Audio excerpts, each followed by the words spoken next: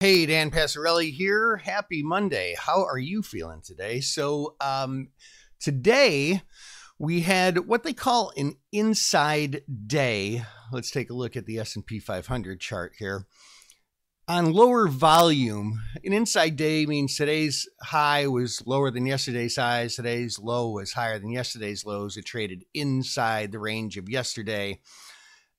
And that is basically a a pretty unimportant uh, chart pattern that gives us pretty little information, especially given the fact that it traded on one of the lowest volume days in the past six months.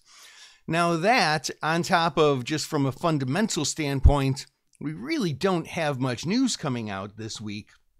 Uh, the biggest news probably comes out on Thursday. Uh, during which we have the weekly Thursday unemployment, non farm payrolls, uh, and or the weekly unemployment report, I should say. So, with lack of a followable chart pattern and lack of a lot of news, we're mainly going to be trading based on things that come out in the interim. News that comes out during the week, likely political news, any news about specific companies, uh, you know, cabinet appointees, if we haven't gotten to all of those just yet, um, you know, foreign news.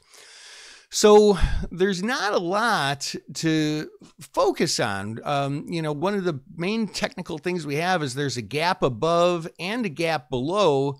They say that gaps are meant to be filled. Um, this, interestingly, I guess I didn't talk about this last time, is a four day island reversal, which you don't really see a lot.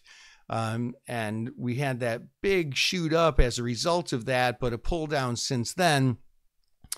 So, unless we break through some moving averages, there's not that much to look at, which can be kind of a weird market.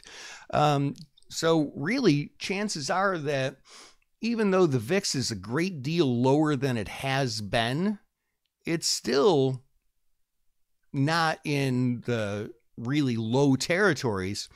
So we could have some potentially good opportunities for credit spreads this week.